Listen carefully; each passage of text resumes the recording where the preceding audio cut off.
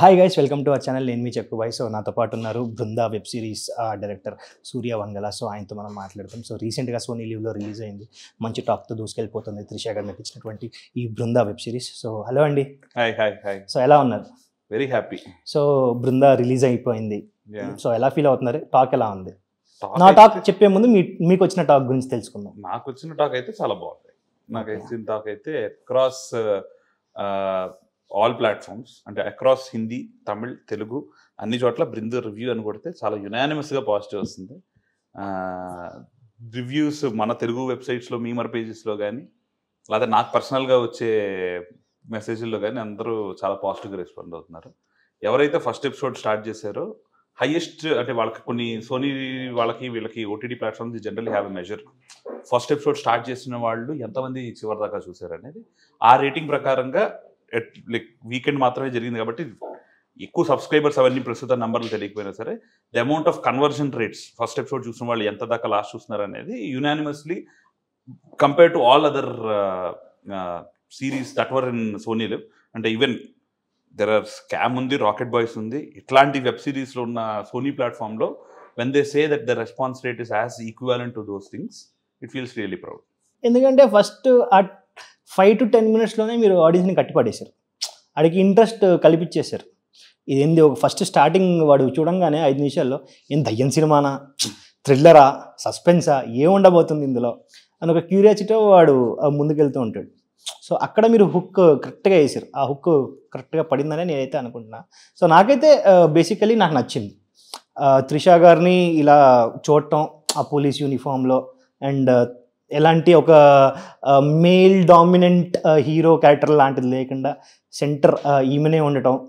So ఈమెనే మొత్తం show run చేయటం అనేది నాకు ఆ, సౌత్ క్వీన్ త్రిష అనే దానికి బాగా సెంక్ అయింది బాగా సెట్ అయిందని నేనైతే అనుకుంటున్నాను thank you thank you so బాగుంది యాక్చువల్లీ. సో ఒకసారి సినిమాలోకి వెళ్తే సో ఎక్కడెక్కడ షూట్ చేశారు? ఇది ఎందుకంటే మల్టిపుల్ లాంగ్వేజెస్లో మనకి రిలీజ్ అవుతోంది. కానీ షూట్ చేసిన లొకేషన్స్ మనకి ఎందుకంటే హైదరాబాద్లోనే ఉంటాం కాబట్టి తెలిసిన లొకేషన్స్ అయితే తెలిసిపోతుంటాయి. కానీ మీరు చాలా జాగ్రత్తలు తీసుకున్నారు. చాలా జాగ్రత్తలు తీసుకున్నారు. ఎక్కడ ఇది రివీల్ అవ్వకూడదు అనే ఇది ఈ షాట్ ఇక్కడ షూట్ చేసామని రివీల్ అవ్వకుండా ఉండేలాగా చాలా జాగ్రత్తలు తీసుకున్నారు. సో ఎక్కడెక్కడ షూట్ చేశారు? మేము రెక్కీకి వెళ్ళటం అవన్నీ చాలా వరకు మధ్యప్రదేశ్కి వెళ్ళాం కేరళకి వెళ్ళాం అవన్నీ చేసాం. అక్కడ కొన్ని పార్ట్ చేసాం. బట్ మెజారిటీ అంటే almost seventy percent of it was shot in Hyderabad కానీ మీకు ఎందుకు ఎందుకు తెలియలేదంటే మా టెక్నికల్ క్రూ అంత జాగ్రత్త పడింది. మేము షార్ట్ డివిజన్ వైజ్ అంత జాగ్రత్త పడ్డాం. అదే. మీరు మీరు సాధారణంగా మిగతా సినిమాలు చూసే ఆ అల్యూమినియం ఫ్యాక్టరీలో చేసాం చాలా వరకు. బిహెచ్ఎల్లో చేసాం చాలా చోట్ల మనం మనం అనుకున్న వాటిలో చేసాం. కానీ ఏంటంటే we have very good crew for example మా DOP Dinesh Babu is one of the promising talents next promising talent మా ప్రొడక్షన్ డిజైనర్ ఎవరైతే ఉన్నారో Avinash Kolla he's doing game changer like one of the. Biggest guys are in this film so అంత టెక్నికల్గా అంత solid crew ఉన్నప్పుడు the kind of visuals that you get and the kind of sets that are prepared Covid టైంలో త్రిష ఇంత star cast మీరు రోడ్ల మీద కూడా వెళ్ళాం. We have to shoot in sets మీకు అలాంటి టైంలో కూడా న్యాచురల్గా నీట్గా అనిపించింది అంటే I should give credit to my technicians and my producer of course అయితే ఇది కోవిడ్లో షూట్ చేశారా ఇదంతా? కోవిడ్లో కాదండి but just we were out of Covid this was two thousand twenty one November we started Trisha garu this is అంటే just before third wave అనుకుంటా two thousand twenty two Jan ఆ టైంలో కంప్లీట్లీ థర్డ్ వేవ్ అలాగా మనకుంది కదా.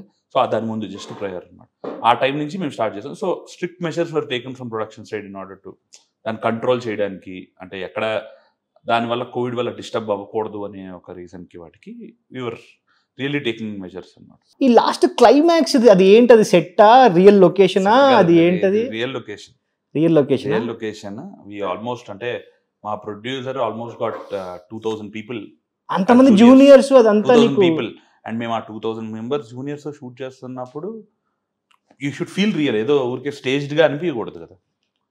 ఎక్కడ frame పెట్టినా మీకు ఫ్రేమ్ నిండా మీకు జనాలే ఉన్నారు. ఎక్కడ ఎంటీ స్పేస్ వాళ్ళందరూ మన సినిమాలో సాధారణంగా జూనియర్స్ అన్ఫార్చునేట్ ఏంటంటే రాజమౌళి గారు చెప్పినట్టు తెలుగులో జూనియర్ యాక్షన్స్ కొంచెం స్ట్రిక్ట్గా ఇలా ఇలా ఉంటుంటాయి. మలయాళంలో బాగా చేస్తారనుకుంటుంటాం అలాంటిది వీ అచీవ్ ద ఇంపాసిబుల్ మీకు ఎక్కడ అలాగ అనిపించకుండా రియల్ లొకేషన్లో షూట్ చేశారా అని అనిపిస్తూ what we did of is like really impressive అంటే మేము almost two nights we shot that full climax with in two nights అవునా? Yeah two nights with 2000 crew with trisha Ravindra Vijay పోలీసులు ఆ పో police setup plus it's not just ఇప్పుడు dialogue scene అంటే ఒక ఎత్తు. అంటే ఇరవై నిమిషాలు రెండు రోజుల్లో షూట్ చేయడం డైలాగ్ సీన్ అంటే మీరు నేను మాట్లాడుకోండి ఇక్కడ కెమెరా ఇక్కడ పెడితే అయిపోతుంది. అయిపోతుంది.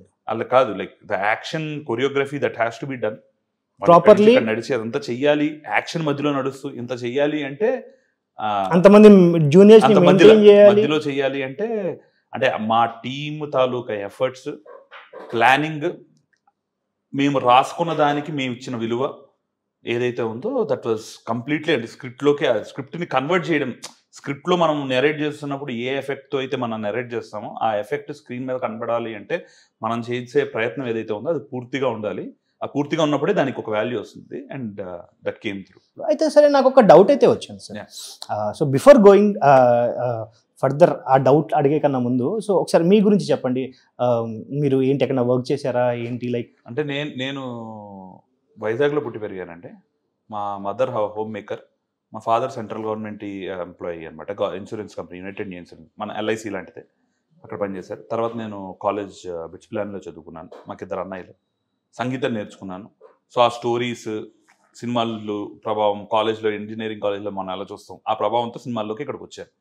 ఇక్కడికి వచ్చిన తర్వాత నేను పనిచేసింది అనీష్ కురువిలా గారితో కోంటే కోటి కస్టమ్ డైరెక్టర్గా చేశాను. ఓకే. తర్వాత అక్కడ నేను బాగా పనిచేశానని చెప్పి ఆయనే నన్ను తీసుకెళ్ళి శేఖర్ కమల గారి దగ్గర పెట్టించారు దాని తర్వాత నేను రా టెక్నికల్గా అందాల రాక్షసి అనే సినిమా నాకు చాలా ఇష్టం కాబట్టి టెక్నికల్గా నేర్చుకోవాలి అని చెప్పి నేను హను రాఘవపూడి గారి దగ్గర చేరాను.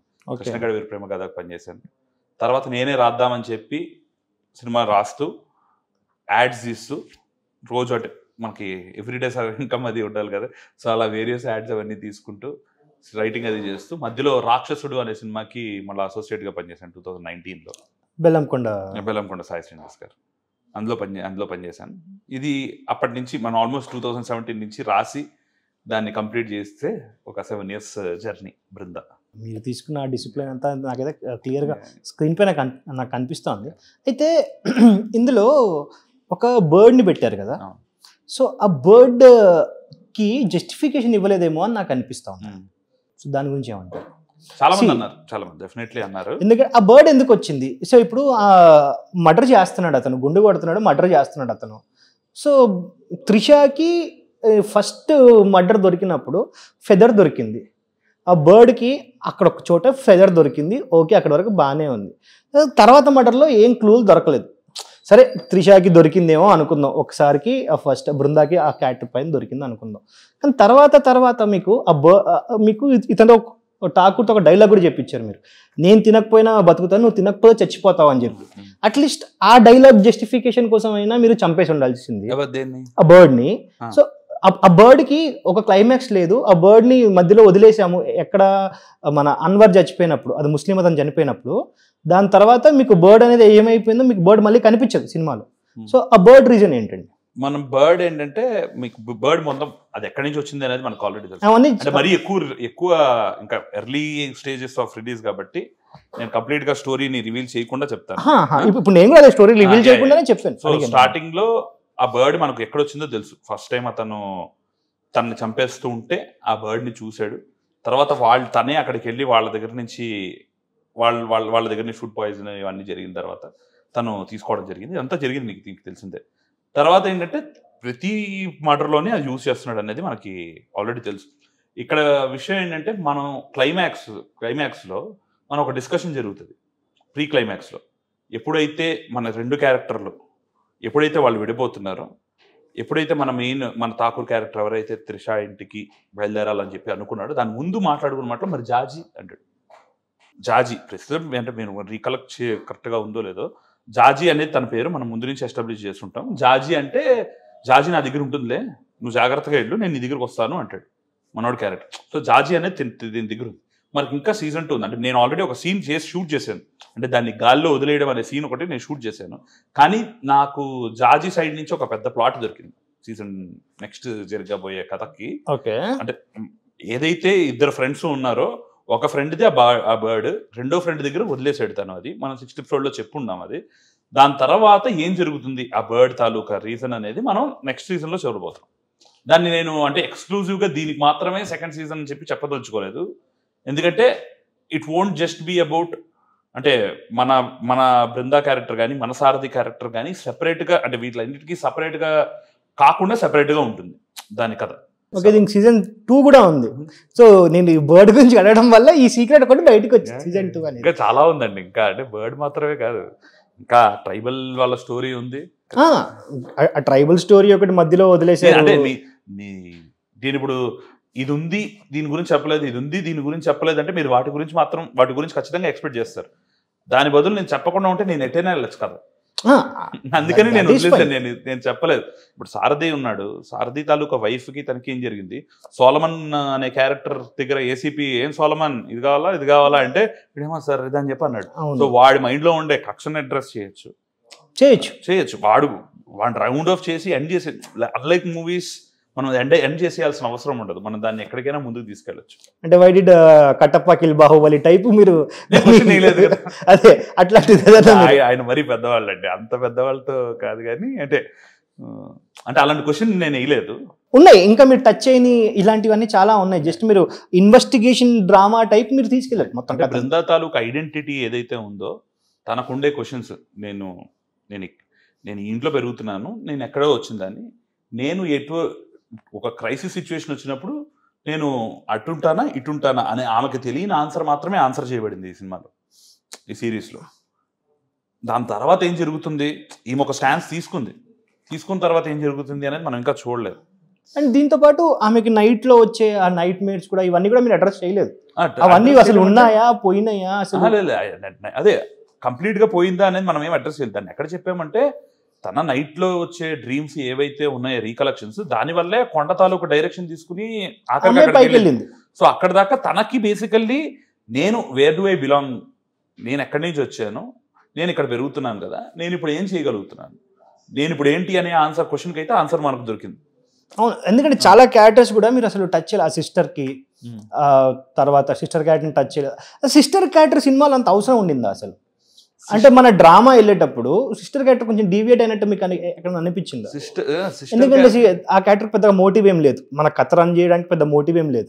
జస్ట్ ఇంకొక child. That is one way of seeing it అంటే ఇట్స్ అంటే it's prerogative for the audience నాకు నచ్చిందా నచ్చలేదా అంటే డెఫినెట్లీ ఆడియన్స్కి నచ్చిందంటే నచ్చిందా నచ్చిందా నేను ఏ ఉద్దేశంతో స్టార్ట్ చేశాను అంటే చాలా మంది ఆ కామెంట్ కూడా అన్నారు. మీరు అన్నట్టే సిస్టర్ అవసరమా? ఇది అది అని.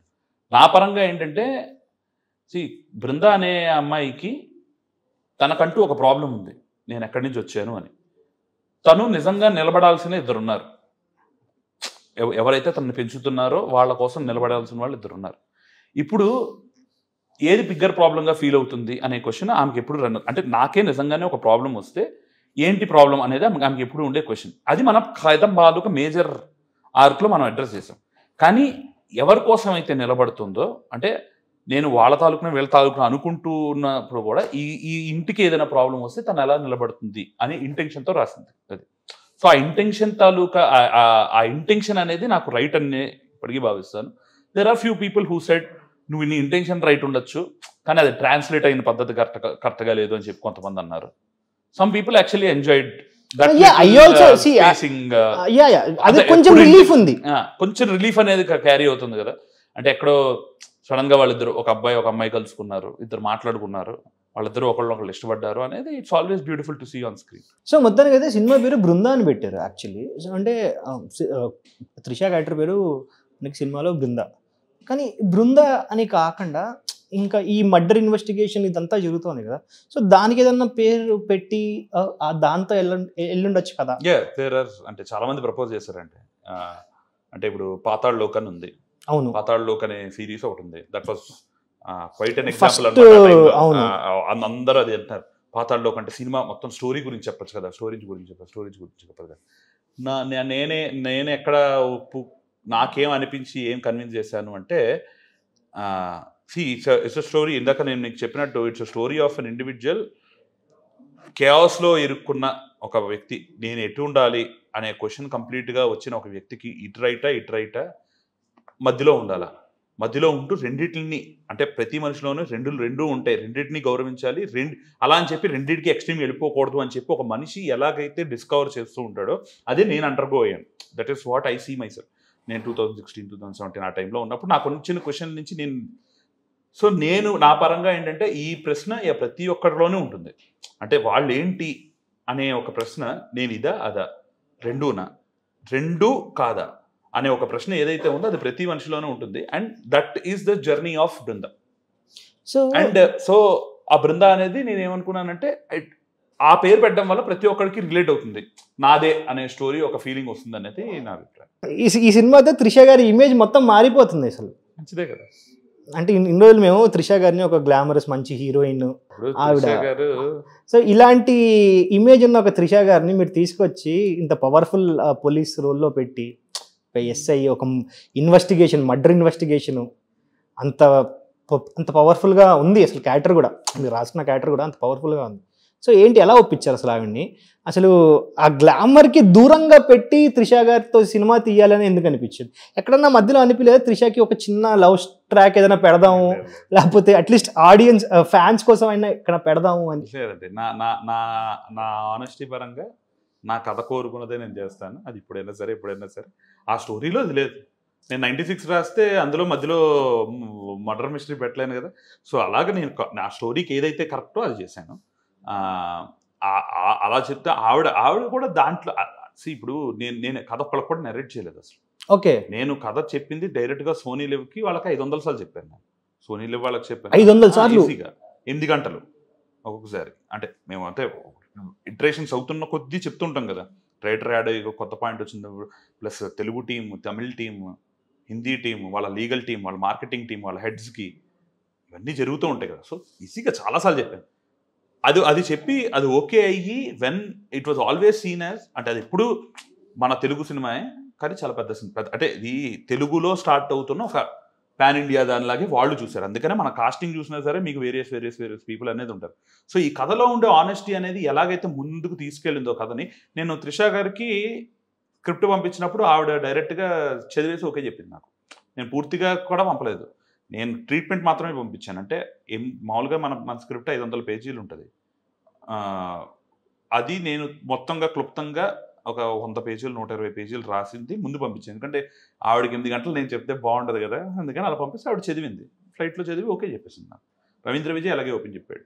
ఇంద్రజిత్ సుకుమార్ అలాగే ఓపెన్ చెప్పాడు. నా డిఓపి నా ప్రొడ్యూ నా ప్రొడ్యూసర్ ఆయన అలాగే ఓపెన్ చెప్పాడు. సో మనం దాన్ని కదిలించి దాని తాలూకా ఏదైతే నిజాయితీ ఉందో అది తీసేస్తే అది పోతుంది. ఆ మజా ఆ మజా పోతుంది. నేను? అంటే ఎంతసేపు అంటే దానికి ఆమెకు ఒక బాయ్ ఫ్రెండ్ పెట్టో లేకపోతే ప్రతిసారి ఆఫీస్ నుంచి వచ్చి రిటర్న్ వస్తున్నప్పుడు దారిలో ఎవరో చూస్తున్నారని చెప్పాడు. అది కాదు అంటే దాని కథ కథ అక్కడికి వెళ్ళట్లేదు. మనం ఫోర్స్ఫుల్గా దాన్ని అక్కడ తీసుకెళ్ళకూడదు. ఇంకో ఇంకో కథలో అదే కోరుకు కోరుకుంటుంది. సో ఈ సారథికి ఆడికి ప్రాబ్లం ఉంది. ఆడి ప్రాబ్లం సెట్ అయిపోయింది. వాళ్ళ వైఫ్ చెప్పేసింది ఆడికి. ఓకే అని చెప్పేసింది ప్రాబ్లం దానికి ఒక ప్రాపర్ ఎండింగ్ ఇవ్వలేదేమో? అదే ఆవిడకి ప్రెగ్నెంట్ అయ్యింది తెలిసింది. వీడు రిగ్రెట్ అయ్యాడు. ఆ రోజు అనవసరంగా అరిచినందుకు రిగ్రెట్ అయ్యాడు. ఏదైతే వాళ్ళ వాళ్ళ మధ్యన ఒక ప్రాబ్లం ఉంది ఆ ప్రాబ్లం అయిన దానికి ఆమెకి దానికి ఆమెకే సొల్యూషన్ వచ్చింది. ఆమెడు దేవుడికి దండం పెట్టుకోవడం వల్ల హాస్పిటల్కి వెళ్ళడం వల్ల వీళ్ళందరూ ఏదో చేయడం వల్ల ఆమెకు సొల్యూషన్ వచ్చింది. పాజిటివ్ అని తెలిసింది. తెలిసిన తర్వాత వీడు చెప్దాం అనుకున్నప్పుడు వీడికి ఉండే ఒక స్ట్రెస్లో ఆమె మీద అరిచాడు. అరిచిన తర్వాత ఏమైంది? తర్వాత ఆవిడికి తెలిసి మళ్ళీ బాధపడి ఆమె దగ్గర మళ్ళీ సెటరేట్ అయ్యాడు. అంటే దాని ముందు ఆ, సీన్కి లీడ్ సీన్లో మీకు వాళ్ళ మదర్ మాట్లాడుతుంది కదా? ఫస్ట్లో అదే ఆ మదర్తో ఎందుకు చెప్పించలేదు అని నాకు డౌట్ వచ్చింది. ఎందుకంటే ఎక్కువ వీని వీనికి ఇరిటేటింగ్ వీళ్ళ వైఫ్ కాదు. అత్త కదా? సో అత్త కాంప్రమైజ్ అయి ఉంటే బాగుండేదేమో అని నాకు ఇంకొక ఫోన్ కాల్ సీన్ ఉంటే అయిపోయేదేమో అని నాకు అనిపించిన డౌట్ అన్- అనిపించింది. లేండి అందులో. కానీ అదే వాళ్ళు ఎవరో చెప్పడం కాదు. ఇప్పుడు నా ఇప్పుడు నాకుండే ప్రాబ్లం Justify చేసుకుంటూ వస్తాను ప్రాబ్లం కదా. ఉంది అనుకోండి నాకు గొప్పగా ఎప్పుడు అనిపిస్తుంది అంటే మీరు నేను మాట్లాడుకుని ప్రాబ్లం సాల్వ్ చేసుకుంటే. ఆయన ఎవరో వచ్చి కాదు. ఇప్పుడు నేను ఇప్పుడు పూరి గారి సినిమాల్లో కానీ గౌతమ్ మేనన్ గారి సినిమాల్లో కానీ హీరో హీరోయిన్ డైరెక్ట్గా లై లవ్ చెప్తాడు. వాళ్ళు ఎవరో వచ్చి చెప్పరు. ఫస్ట్ సీన్లోనే చెప్తాడు. గౌతమ్ మేనన్ సినిమాల్లో కూడా అంతే. ఆయన సినిమాల్లో కూడా అంతే. So there is a there is a style for అంటే వాళ్ళు ఎందుకు చేస్తున్నారు? వాళ్ళ పర్సనాలిటీల నుంచి వచ్చే ఒక ఇది. సో నాకు నాకు నాకు పరంగా ఏంటంటే నేను వాళ్ళిద్దరూ మాట్లాడుకోవాలి. ఒక అది- పెద్దగా సీరియస్ ఇష్యూ ఏం కాదు. మన కథలో డివైడ్ అయిపోతుందని నువ్వు అనుకున్నావు. అంతేనా? అంతే సో ఇంకో నాకు ఇది ప్రతి ఒక థ్రిల్లర్ సినిమాకి ఒక ఇన్వెస్టిగేషన్ సినిమాకి నాకు వచ్చే ప్రతి డౌ దీంట్లో డౌట్ అండి. ప్రతిసారి ఇన్వెస్టిగేషన్ ఏదైతే చేస్తుంటారో సో వాళ్ళు షెర్లాక్ హోమ్ లాగా ఇటు అటు ఎతుకుతూ ఉంటారు. కానీ సడన్గా ఏం తెలియకుండా వాడికి ఒక ఐడియా అట్లా బ్లింక్ అయిపోద్ది. పేపర్ పడ్డప్పుడు ఆ పేపర్లోంచి వాడికి ఒక ఐడియా వచ్చింది లేకపోతే రెగ్యులర్ సీన్లు అయిపోయినాయి ఇవి.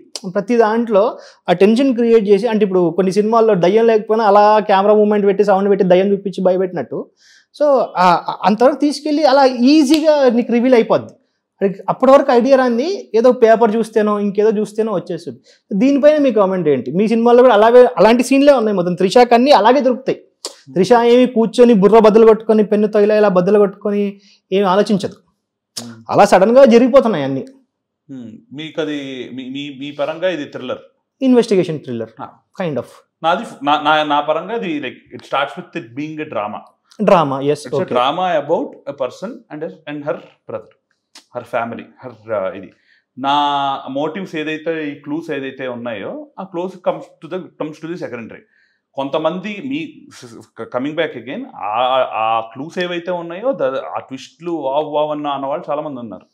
మీకు మీకు అది క్లూస్ కొంచెం తక్కువ అనిపించి ఉండొచ్చు. కానీ తక్కువని కాదు. Ah. ప్రతి సినిమాలో ఇట్లాంటి ఒక ఇన్వెస్టిగేషన్ సినిమాలో క్లూజ్ అలా దొరికిపోతుంటాయి. అప్పటి వరకు వాడు టెన్షన్ పడుతూ ఉంటాడు. కానీ అదేదో ఒక పేపర్ చూస్తేనో ఇంకేదో చూస్తేనో ఇంకేదో చూస్తేనో వాడికి క్లూ వచ్చేస్తుంది. అక్కడ సీసీ కెమెరా ఉంది మనం ఎలా మర్చిపోయాం?